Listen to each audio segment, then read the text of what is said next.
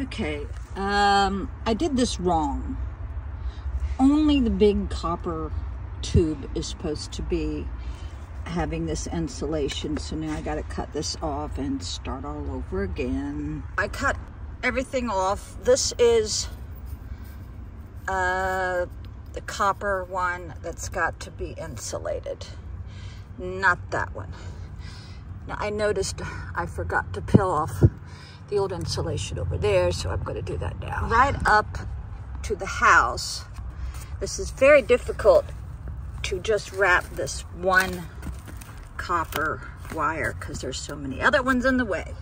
I'm done this part, but um, I ordered the Shurtape uh, to wrap this also, which helps with the UV rays so this won't deteriorate so fast.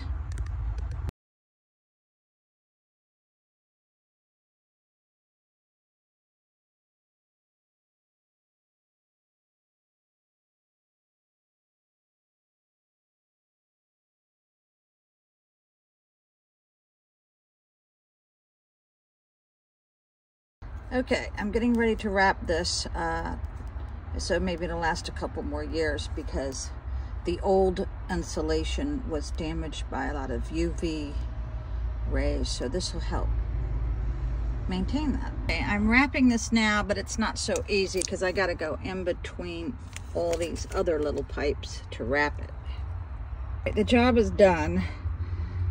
Uh, I made one big mistake though. I Every time I've worked on it out here, I've always turned off the electricity to the house. But this time I didn't, but it's warm enough. Hopefully the heat pump wouldn't have kicked in and electrocuted my ass. But yeah, it was hard to get in there. So I laid it on top and then put some on the bottom up there. All right. Thanks for watching.